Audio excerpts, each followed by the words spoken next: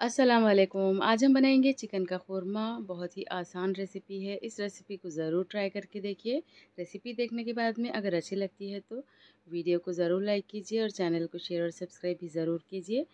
तो चलिए अब हम बनाना शुरू करेंगे चिकन ख़ौरमा। तो इसके लिए लेंगे हम एक किलो चिकन। तो चलिए सबसे पहले अब हम चिकन को मैरिनेट कर लेंगे। यह है दो टेबल स्पून अदरक लहसुन का पेस्ट। आधा टीस्पून हल्दी पाउडर नमक दो टीस्पून लाल मिर्च पाउडर दो टीस्पून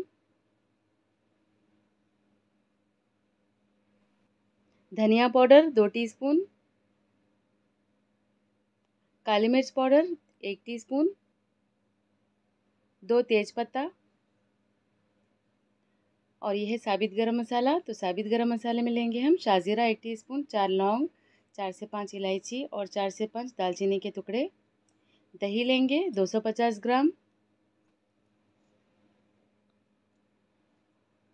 कुकिंग ऑयल ऐड करेंगे एक कप। तो कुकिंग ऑयल जो है आप लोग अपनी मर्ज़ी के हिसाब से इसके अंदर ऐड कर लीजिए।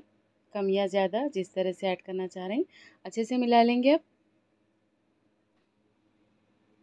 अच्छे से मिला लेने के बाद में अब हम ये ढक्कन से कवर करके रख देंगे आधे घंटे के लिए। तो आधे घंटे के लिए अगर ये रख देंगे हम तो मसालों का जो फ्लेवर है चिकन के अंदर अच्छे से आ जाएगा। चिकन खोरमे में ऐड करने के लिए अब हम एक पेस्ट बना के तैयार कर लेंगे। तो इसके लिए लेंगे हम, ये है प्याज 250 ग्राम। सूखा खोपरा लेंगे 100 ग्राम।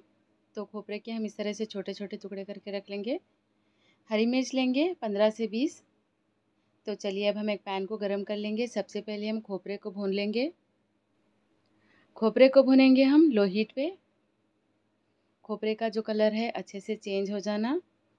जब तक हम ये भून लेंगे, जब तक कि इसका कलर चेंज ना हो, जब तक ये भून लेना है तो ये देखिए, अब ये खोपरा अच्छे से भुने गया। ये एक प्लेट में निकाल के रख लेंगे हम। सेम पैन में हम थोड़ा सा कुकिंग ऑयल ऐड करेंगे और प्याज ऐड कर लेंगे इसमें। अब हम प्याज को तल लेंगे मीडियम हीट पे। प्याज का हल्का सा कलर चेंज होने तक हम ये फ्राई कर लेंगे।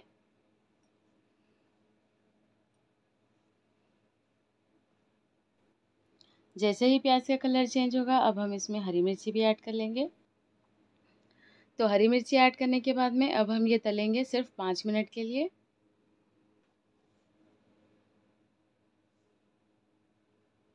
और पाँच मिनट तक इसको अच्छे से तलने के बाद में अब हम फ्लेम ऑफ़ कर लेंगे और खोपरे के साथ में ही हरी मिर्ची और प्याज को भी ऐड कर लेंगे।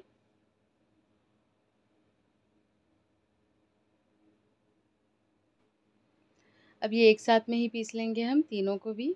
तो पीसने के दौरान अब हम इसमें थोड़ा थोड़ा पानी ऐड करते जाएँगे और इसको पीस कर इसका पेस्ट बना लेंगे। ये देखिए, अब इसका पेस्ट बिल्कुल रेडी है।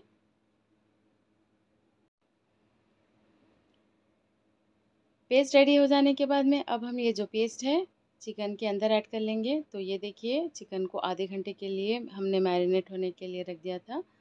अब हम इसमें आधे घंटे के बाद में ऐड करेंगे बारीक कटा हुआ कोतमीर और पुदीना।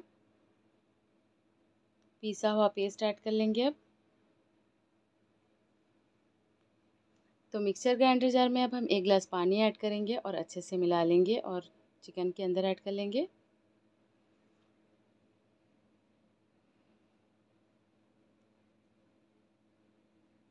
अच्छे से मिला लेंगे फिर से।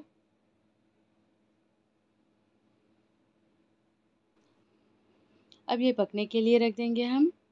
तो फ्लेम ऑन करेंगे और ये पका लेंगे हम मीडियम हीट पे। तो ढक्कन से कवर करके इसको पकने के लिए रख देंगे और पकने के दौरान में हम बीच बीच में इसको भूनते भी जाएँगे ताकि इसको दाग ना लगे। तो ये देखिए इस तरह से हम बीच बीच में पकने के दौरान में इस तरह से चम्मच से भूनते भी जाएँगे। तीस मिनट तक इसको अच्छे से पका लेने के बाद में अब हम इसमें पानी ऐड करेंगे। दो ग्लास पानी ऐड करेंगे और एक टीस्पून गरम मसाला पाउडर। ये है गरम मसाला पाउडर तो इसकी लिंक आप लोगों को डिस्क्रिप्शन में मिल जाएगी। पानी ऐड करेंगे दो ग्लास तो पानी जो है आप लोग अपनी मर्ज़ी के हिसाब से कम या ज़्यादा कर ले सकते। अब हम इसमें बारीक कटा हुआ कोतमीर और पुदीना ऐड कर लेंगे। और ये है दो नींबू का निकाला हुआ रस। चार से पाँच हरी मिर्च ऐड करेंगे। अब ये पकने के लिए रख देंगे हम पंद्रह मिनट के लिए मीडियम हीट पे। ऑयल अच्छे से सेपरेट हो जाना जब तक ये पका लेंगे हम।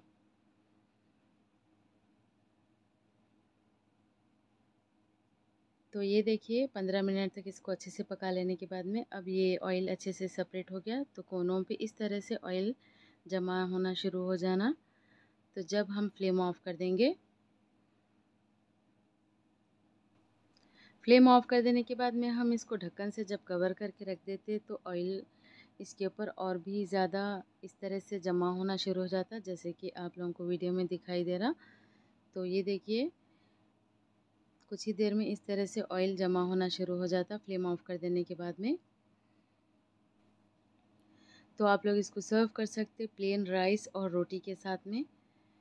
ज़रूर ट्राई करके देखिए रेसिपी को। थैंक्स फॉर वॉचिंग अल्लाह हाफिज़।